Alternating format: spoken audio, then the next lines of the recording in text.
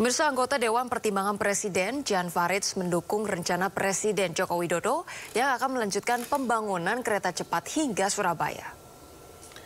Presiden Joko Widodo akhirnya meresmikan kereta cepat Jakarta-Bandung Wush pada Senin 2 Oktober kemarin di Stasiun Pedalarang Kabupaten Bandung Barat, Jawa Barat.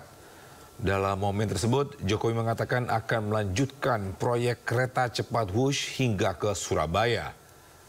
Anggota Dewan Pertimbangan Presiden Jan Faridz ini mendukung penuh rencana Presiden Jokowi yang ingin melanjutkan pembangunan kereta cepat. Niatan tersebut merupakan visi besar yang bersifat jangka panjang dan harus direalisasikan demi mewujudkan Indonesia maju. Pemerintah dalam waktu dekat akan melakukan studi awal terlebih dahulu. Ini barulah masuk pada tahap kalkulasi anggaran dan pelaksanaannya.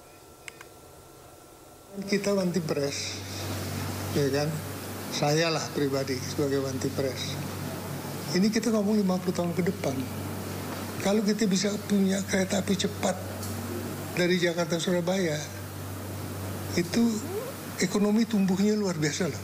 Betul-betul ekonomi tumbuh luar biasa. Ekonomi, kita ngomong ekonomi. Ya kan? Sehingga yang namanya kota-kota besar itu tidak hanya Jakarta saja.